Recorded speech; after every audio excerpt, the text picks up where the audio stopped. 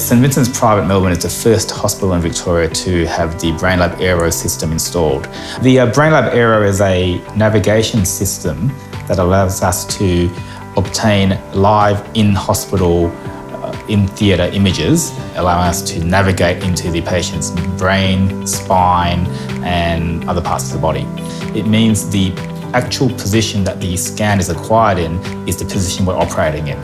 I used the BrainLab AIRO for the first uh, case in Victoria. The patient was a lady who had a upper cervical minor instability at C12. This means that she gets severe pain when she moves her neck. So two years ago I got hit by a horse.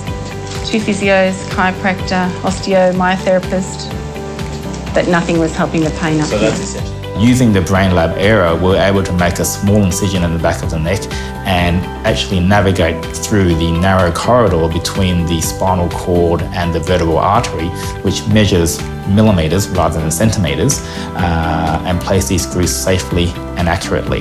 We're also able to check immediately with a intraoperative uh, scan to make sure the screws are in the right position before we close the skin up and um, complete the operation. He said the AIRO machine worked really well, it was very successful, and said it should be a really good outcome. The mainstay of use for the BrainLab AIRO is with spinal navigation.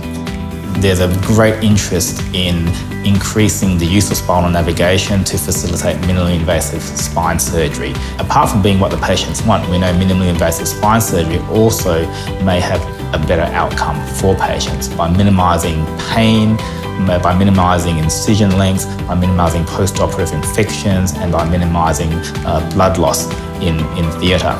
It was a resounding success.